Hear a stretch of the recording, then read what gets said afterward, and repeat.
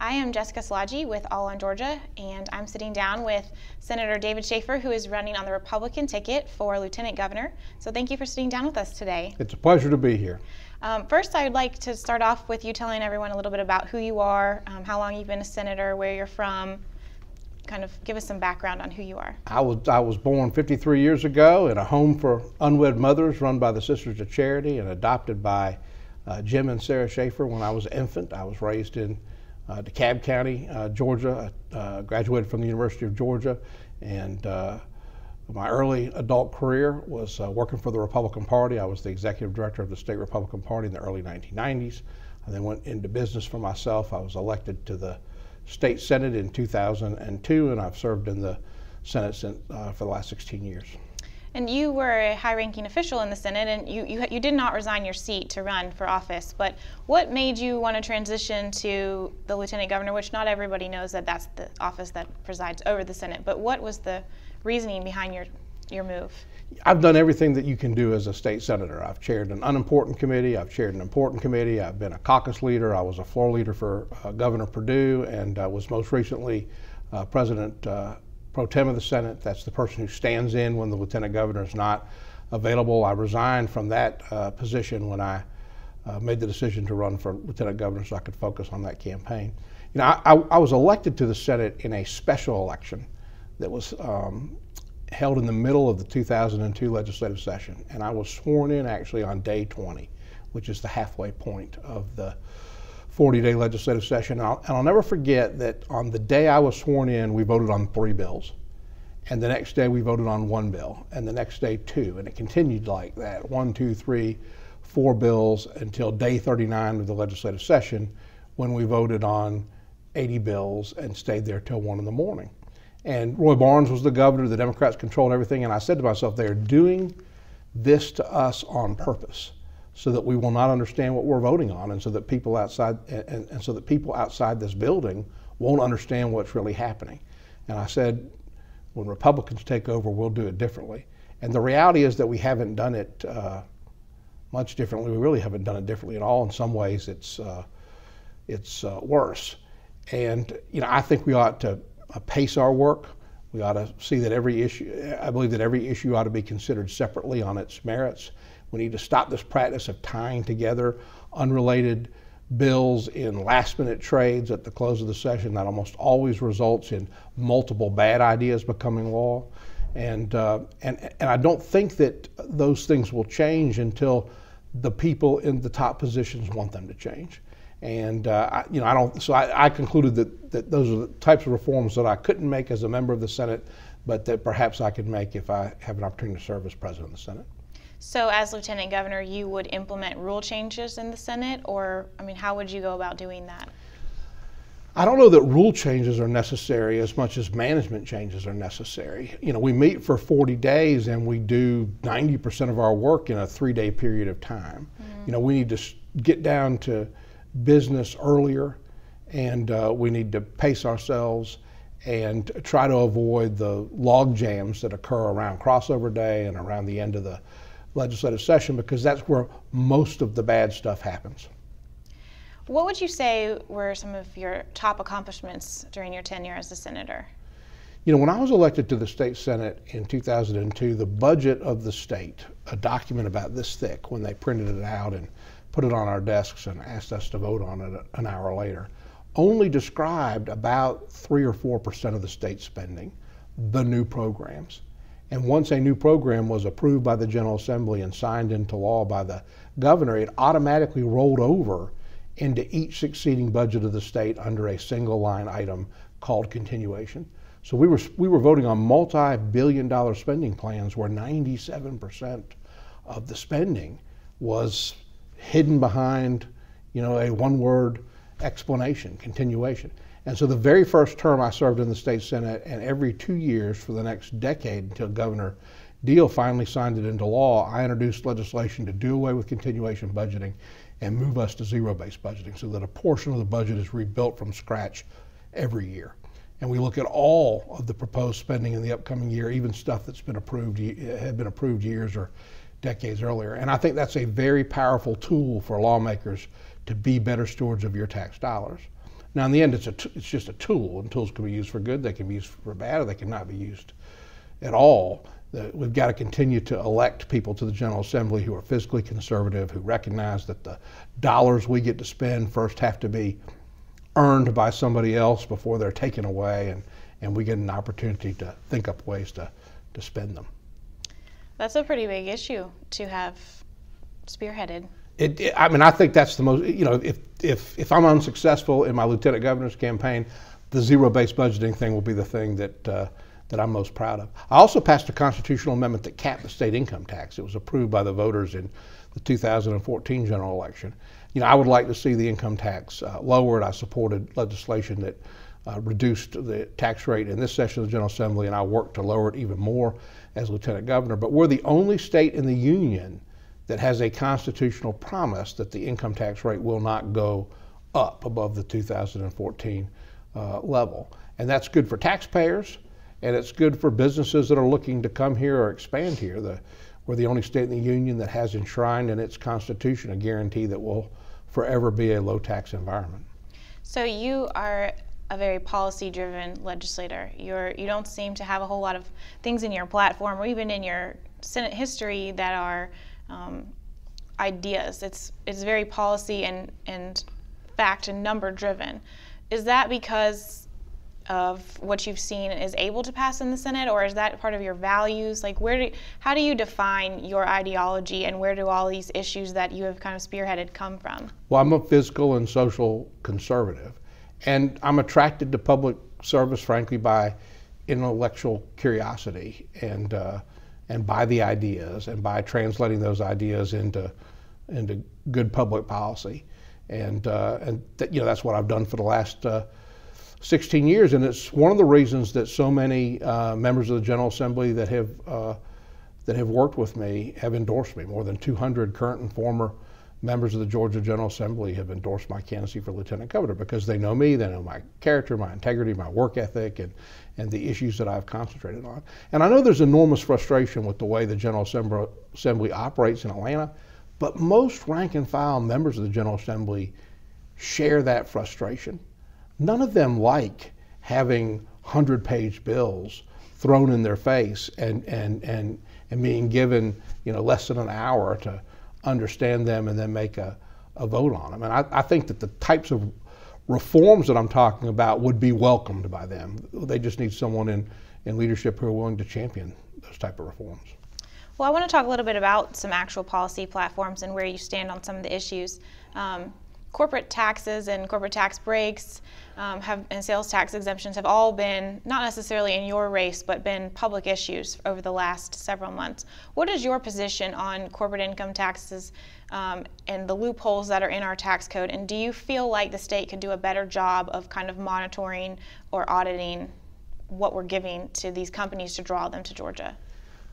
In the time that I've served in the Senate, I have voted for some targeted tax breaks, but I, I I believe that the best way to make Georgia attractive to new business is to is uh, to make it uh, attractive to all business, and that's by having a, a pro-business regulatory environment, by having a, a low tax environment. I'd like to see our tax reform efforts going forward concentrated on lowering the marginal rate for everyone instead of picking winners and losers through targeted uh, targeted tax breaks.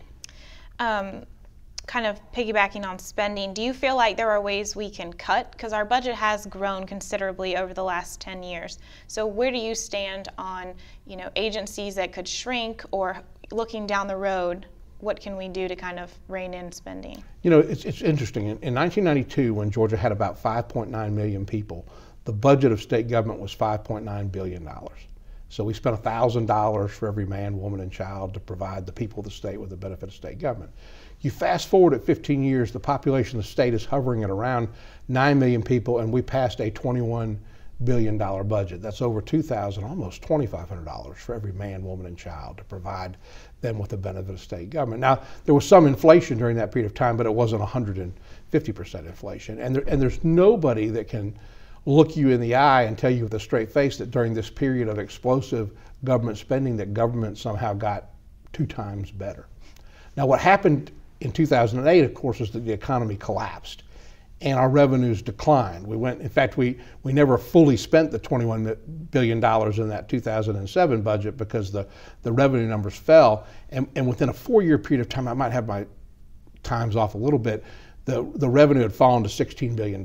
So we were forced to make $5 billion roughly in cuts. And those were difficult and painful decisions, but I frankly believe that we were, that Georgia's better for having gone through that because it focused us on what are the core functions of government and how do we deliver those uh, the services in those areas most efficiently. Now, if we had had zero-based budgeting, a lot of those cuts could have been done more skillfully. We had to make some clumsy cuts because it wasn't really apparent to us what was in that continuation um, uh, line. Now, since that since that 16 billion dollar level, you, the economy's rebounded and revenue has continued to rise. What I have found in my public service is that it doesn't matter how much money comes in, politicians will spend it all. And so I think we want to put pressure on revenue because that forces politicians to make uh, smarter decisions about how those dollars are spent. That's one of the reasons that I pushed the cap on the income tax. That's one of the reasons that I supported the legislation to, to lower the income tax rate. Um, because you know because while I like many politicians on a personal level, as a group they really can't be uh, trusted. I have to agree with you. um, kind of talking about spending and, and funding too, education. You know, that's always a hot button topic, and I think this year was the first year in a very long time that it was fully funded across the state, thanks to the governor's budget. But do you, as lieutenant governor, in your in your platform foresee a change in education funding coming, or do you think that the way we're operating is kind of just clunking along okay? So we're operating under the QBE formula that was developed in the early years of the Harris administration in the 1980s. So that is now a formula that's I'm not the greatest at math, 30 or 40 years old. And this is, you know, actually a the first time that we have fully funded that formula. I think um, I think we need to, it's time for us to take a look at the formula itself. You know, the 80s based formula basically uh, promised a certain number of positions would be funded um, of various types uh, based on the number of students that each school system had, and we and we've consistently failed to keep that promise until this year. I think we ought to look instead at a at a, fu a funding formula that is student based, where instead of promising positions per student, we divide up the money per student. And we recognize that, you know, that, that students with special needs require more money, that, um, that uh, different areas of the state have different needs, and it ought to be a student-based formula instead of a uh, staff-based uh, formula. What about casinos and tying that to hope and education funding? Where do you stand on all of that as a conversation point? I'm not for any expansion of, of gambling in, in Georgia. And the, the um, you know, the, the various casino proposals uh, that have been made would actually not put money into hope. It would create a, they would have created a separate needs-based uh, scholarship program that I think would have weakened uh, the Hope Scholarship Program. I'm a big believer that Hope ought to remain a merit-based program and not be turned into just another, you know, one of the many uh, welfare programs that uh, that we already offer people who are struggling financially. You are from the metro Atlanta area, um, but having served for a long time, you obviously are familiar with issues of the two Georgias and South, rural Georgia, North and South, and then metro Atlanta. What types of initiatives you, would you like to see the Senate under your leadership kind of continue down the pathway or spearhead um, to kind of bring rural Georgia up to the same pace as much as it can be to some of the bigger areas? Well, I live north of Atlanta. My wife is from Middle Georgia, and she and I own a business actually in, in Middle Georgia. So I've got an appreciation that uh, the needs of the different parts of, uh, of Georgia are, are distinct, and that um, you know one size uh, fits all solutions don't don't always work. I think that um, there's two things that we have to do in order to ensure the continued viability of rural Georgia. One is we've got to shore up our healthcare system. Businesses are not going to locate or expand in an area where there is not uh, an adequate system of both routine and emergency healthcare. And so we have, uh, we, we have got to do what it takes to make sure that every part of Georgia is served by uh, our healthcare system. The other thing is that young people are not going to stay in any part of Georgia that is not connected to the internet through uh, a broadband connection. And we made a determination as a society 120 years ago that every home and business should be connected uh, to each other through a universal telephone system. And I think we've got to make that same determination about the uh, uh, about the, the internet as well. Do you have any ideas on how to make that happen? Because the legislature had a lot of bills this year for that, but none of them really just pushed the the, the project down the road any anything considerable. There were, you know, most of the most of the solutions that were proposed really would not have extended um, broadband coverage to any place that wasn't already served. It was really about um, giving one group of businesses a leg up uh, over another in serving the areas of the state that are profitable to serve, and very little um, to make serving the unprofitable areas profitable. Um, and, and, and so I, you know, I think that, uh, you know, I think that we can look at using the existing telephone uh, universal service fund uh, for broadband as well. Um, but it's going to be, I mean, there's going to be some tough decisions that have to be made if we determine this is a worthy societal goal that everyone ought to be connected to each other, uh, you know, on the internet, just like we made that uh, a, a, goal with the telephone system.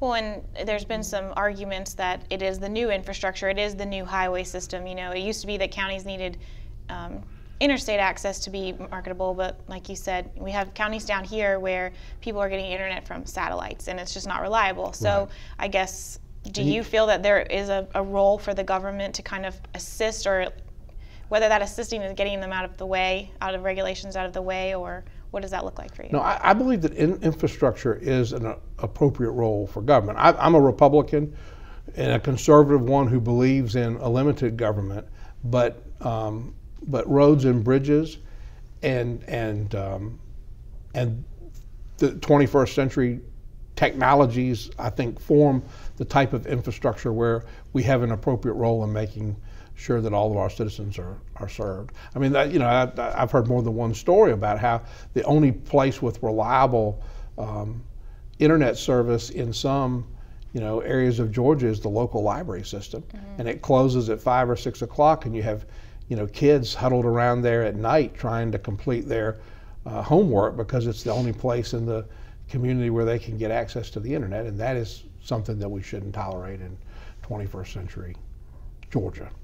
Another issue that really affects rural counties is healthcare and the healthcare crisis and everything from Medicaid reimbursements to access to certificate of need. What would you like to see the state do to make it without just coming in and we know that government intervention 100% and healthcare doesn't work, but what can Georgia do to help our hospitals and our communities? Well, I think we have to rethink how healthcare is uh, is delivered.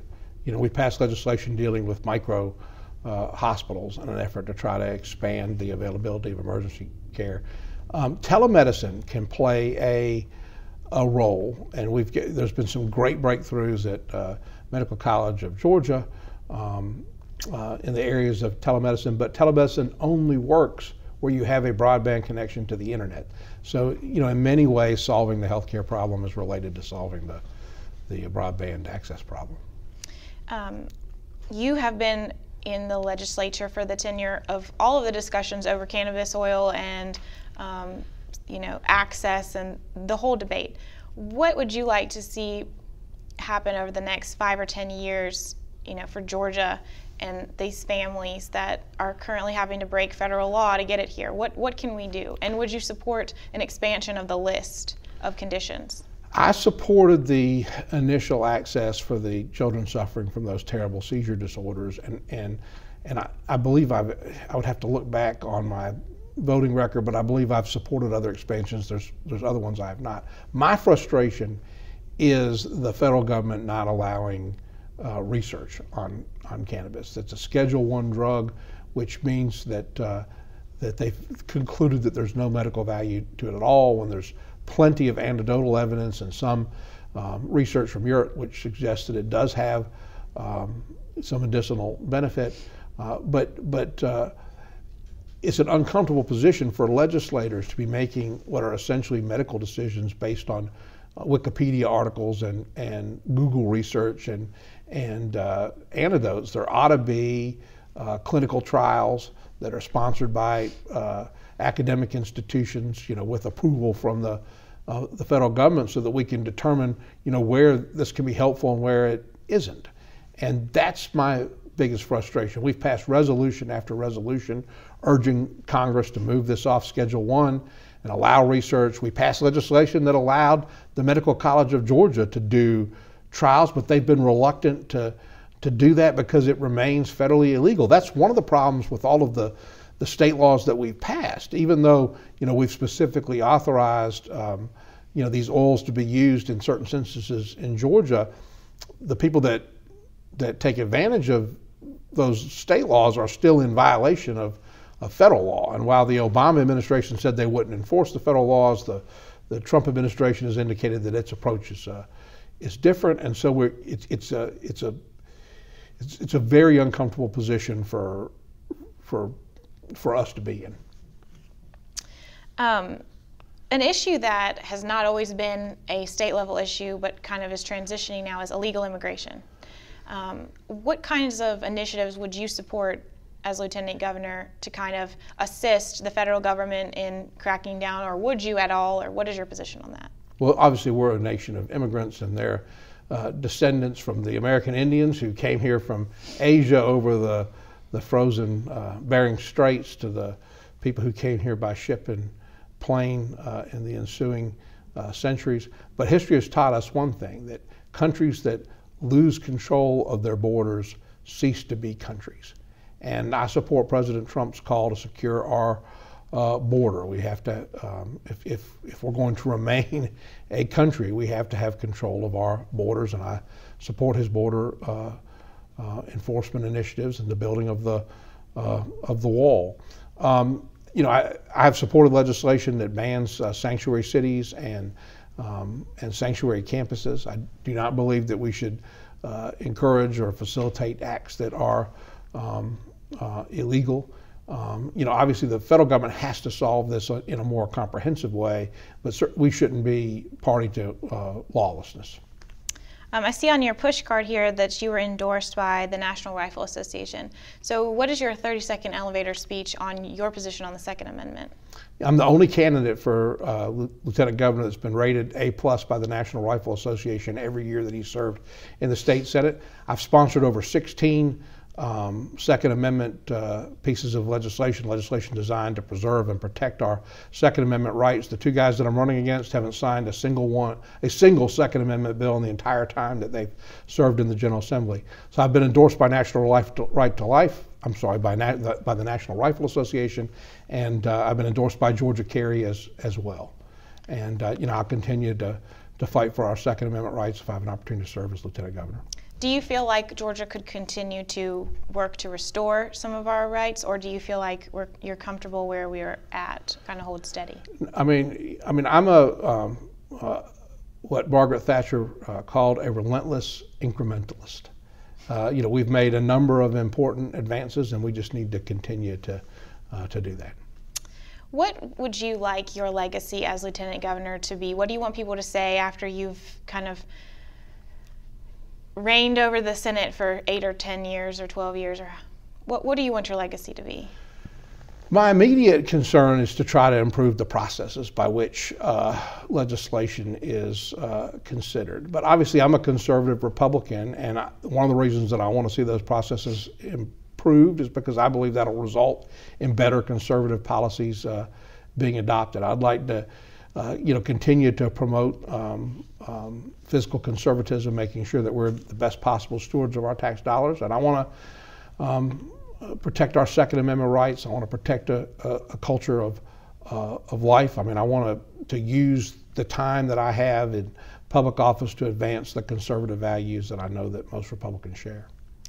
Um, you have a lengthy list of endorsements here as well. Do you want to talk a little bit about those and why they're important to you and why you feel the need to share them? I, I, mentioned I've been endorsed by the National Rifle Association, by um, by GeorgiaCarry.org, by Georgia Conservatives in Action, uh, by uh, the Geo- Family Policy Alliance of Georgia, by Senator Ted Cruz, by former Speaker Newt Gingrich, Senator uh, Rick Santorum, the leading conservative uh, political figures and leaders and organizations. Uh, because in the time that I've served in public office, I've worked to advance the conservative values that we share. Do you feel like that's the biggest thing that sets you apart? Not the endorsements, but your track record from your opponents, or is there something? It's the track record. So the, the endorsements in and of themselves don't mean much. What what is meaningful is why those endorsements were made, and those endorsements were made because I've got a track record of advancing our conservative values and principles under the Gold Dome, and um, and my opponents are both decent fellows who who pushed the right button most of the time that they served in the General Assembly, but they haven't led on the issues in the way that I've led. What is one thing that you would like voters to know about you before May 22nd? that I will fight for the conservative values that we as Republicans uh, share. I've spent my entire, the early part of my adult life trying to get Republican, uh, the Republican Party into the majority in Georgia, and I've spent the second part of my adult life trying to hold accountable Republican elected officials to the promises that we made when we convinced Georgians to, to put us in the majority. Can you let us know where we can learn more about you? Yes, ma'am. You, I've got a website at uh, www.votedavid.com, and I'd encourage you to visit that website and learn more about me. Well, I really appreciate you sitting down with us today. Thank Well, you so much. This was great. Thank you so very much for having me luck. as your guest.